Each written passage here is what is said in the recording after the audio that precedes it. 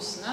Slik at de lokale bussene som da ikke har behov for å stoppe, eh, kjører langs gaten og har fire stoppesteder der.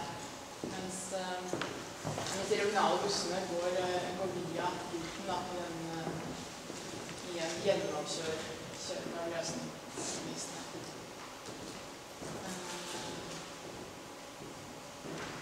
Jeg kan gå videre. nesten. Ja, det er enda tydeligere her. Og som jeg var inne på tidligere, så er dette også viktig at det ikke blir en tredeling av plassen. At den fremdeles oppleves som en, stor plass. Og, og i, den tanken så er også det bruddet med det forlenget eh, hit. Og, og det er en eh, situasjon hvor vi har også integrert eh, både benker og beplanting og sykkelstativer i spiraler rundt i trærne som får liksom, sånn tosidig eh, situasjon. Går vi Det kommer ikke så tydelig fram her, men det er også eh, tanken at den delen av fyllingen som hender på denne, denne siden av tomten, blir en eh, blir en eh, digital vegg og en, i kombinasjon med en kunstinstallasjon og informasjon i forhold til reise, reisetider og reis, avganger og så videre. Um, neste. Plassen så er det da denne, denne ringen og, og det litt mer hardt dekke hvor vi har inkorporert eh, vann til lek og til eh, og selvfølgelig også til med, referanser til, eh, til Sandnes historie, som, som, hvor i sin tid tomten da lå under vann. Og, og tanken er selvfølgelig også at man kan bruke denne type eh, installasjon til å, til å lage is om vinteren. Har skøytebane her. Eh, Vi har også vist eller indikert eh, ulike typer bruk hvor, eh, hvor dette griddet med trær kan, kan også flyttes inn på tomten, eller flyttes inn under eller på den midtplassen. Vi har trær på hjul som kan settes i gridd eller parkeres under tak, eller være en del av dette grønne helhetsbildet. Også vist uh, ulike markeds, uh, markedssituasjoner hvor det kan enten skje bare under tak, eller kan selvfølgelig også okkupere hele, hele plassen. Den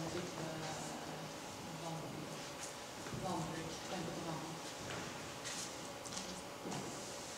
Eh, Det vi kaller parken, det er den, den eh, delen av eller det som er eh, mer park i dag, nærmest i huset, hvor vi har, eh, har en grønnstruktur som inkorporerer de eksisterende trærne, og som har en mykere, kanskje mykere preg, og samtidig programmert med, eh, med en del plasser og steder som er, som er mer spesifikke, mer detaljerte og mer tilrettelagt for spesifikk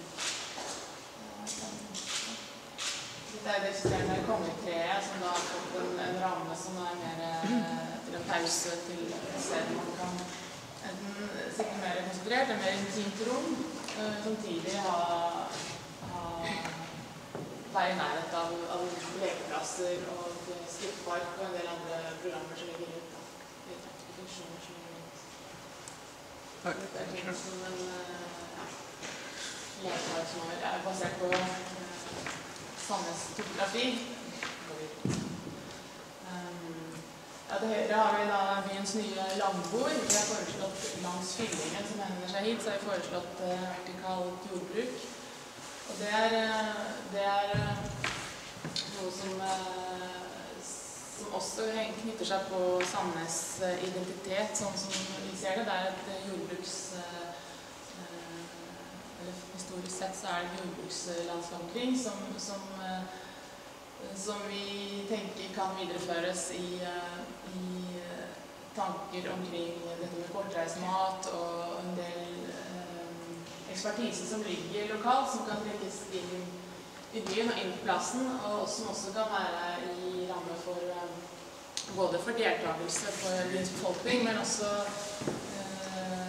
også for eh, restauranter og eh, kanskje da markedssituasjonen som kan være sentral på plassen. Og, og, og vi har eh, eh, det er referanser fra, fra kolonihagene i Bjørvika. Om vi hadde Hovin, som vi jobbet med, har vært ansvarlig for den, eh, det prosjektet der, som har vært en kjempesuksess, hvor både Maemo og eh, lokale har eh, fått ta i bruk disse, disse kolonihagene. Som har blitt en veldig stor suksess, og folk eh, som bor i byen, får et godt forhold til det å produsere egen mat. Så, altså det er tanken, og i forlengelsen av det er landbordet som vi har, eh, som foreslått, som kan være et sted hvor man har piknik eller, eller uh, serverer mat som man faktisk har uh, dyrket på den nye fyll, fyllingen. Så litt til høyre i bildet her. Ja, det gjorde med den uh, skateparken. Vi synes det var eh, viktig å gi det et nytt liv og beholde den. Men det vi har eh, foreslått, er å senke den ned i, i sånn at den eh, Av to grunner. Det ene er at eh, det, gir mye mindre støy, for det kan ofte være et problem med skateparker. At det skaper veldig mye støy og er lite kompatibelt med det å, faktisk uh, slappe av parken. Andre. Det andre er det er lettere å komme nærme eh, folk til å faktisk stå og se hva som foregår. Det er ikke så, er ikke så mye barrierer. Eh, og det tredje vi også har tenkt, er at du fra parkeringsgarasjen under kan ha en vegg for det glasset du kan se inn i det som foregår i. Um, ja.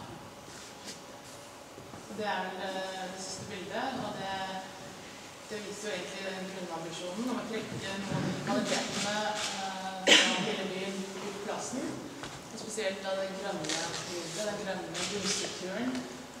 Med én stor lysring som kan eh, som, eh, som blir et nytt ikon og nytt eh, ny identitetsskaper og et omdreiningspunkt for Sandnes. Takk.